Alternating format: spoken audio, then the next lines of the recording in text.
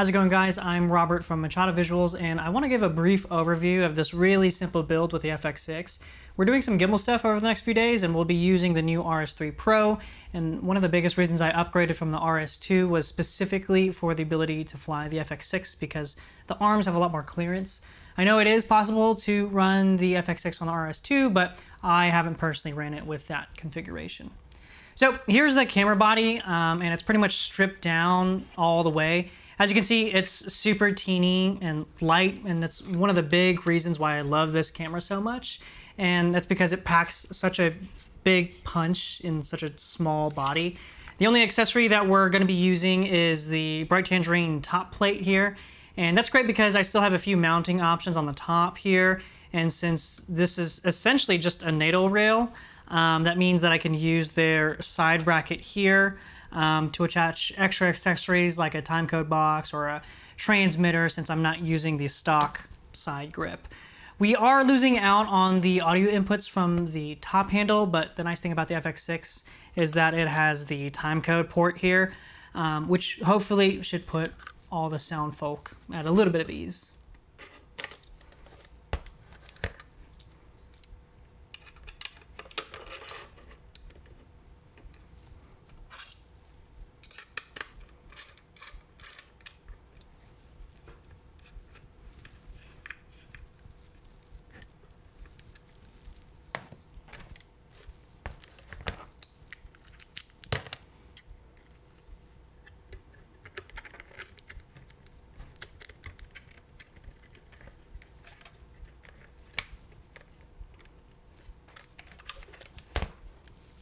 So I'll just be running the stock FX6 monitor for this setup, which I actually quite like.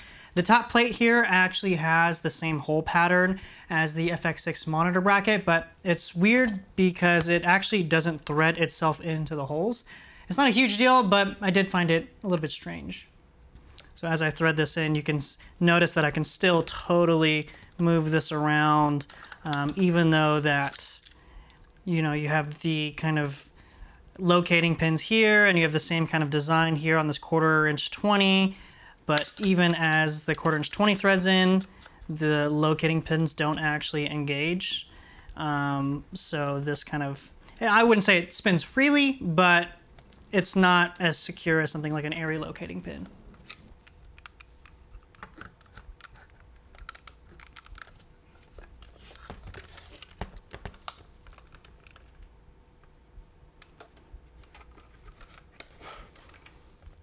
So that kind of leads me to my next point about this side bracket from Bright Tangerine is that it's super nice to have all these extra mounting points um, right on the side of the camera here, but it is also comes with a little bit of a trade-off and that's because it does make it a little bit more difficult to access these side ports here.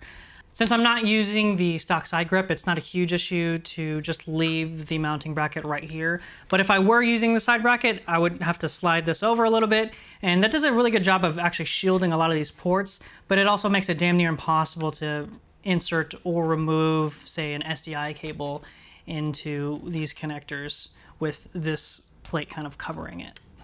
I have tried leaving the LeftField base plate on the camera so that I could still have a kind of ARRI standard dovetail quick release, but it made the camera a little bit too tall to balance on the Ronin, so um, you could probably solve this with a few counterweights on the bottom, but I'd rather just not add any more weight than I need to, so I'll just skip it. Instead, I'll just be using the stock RS3 plate, and this time it comes with the more extended version, which is really nice, so that's what we'll use.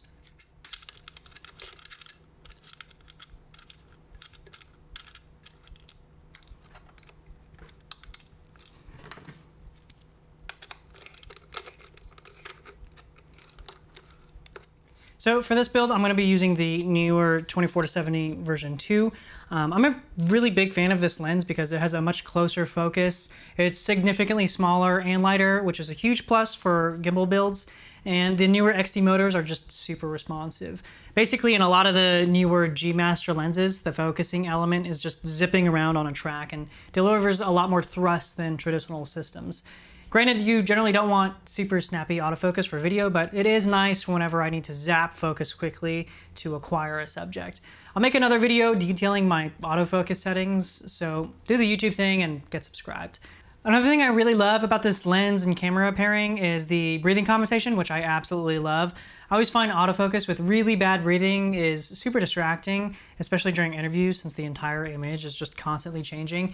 Usually you have to drop a ton of dough on lenses with minimal breathing, but I think Sony's onto something by figuring out a solution towards the back end of things. And I just wish Sony would add this to more cameras like the FX9 or A7S III or even the FX3, but I'm not holding my breath.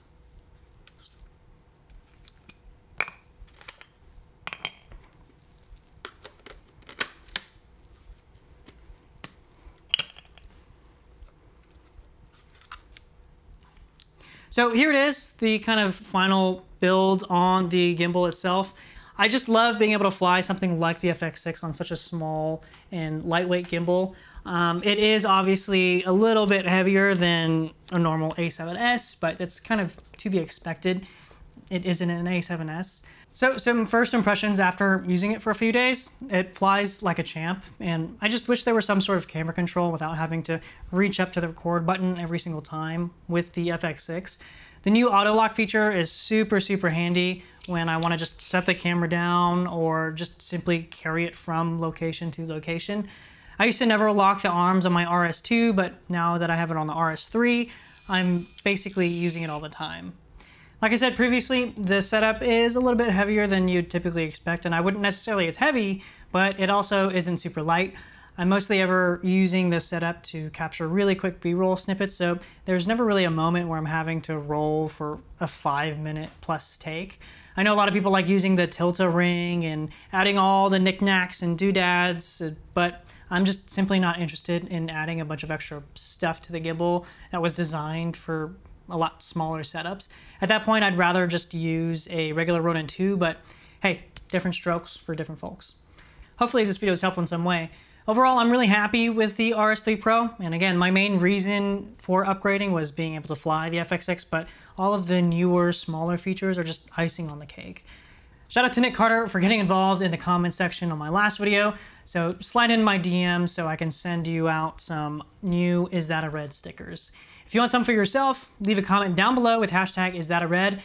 And as always, thanks for watching, and I'll see you in the next one.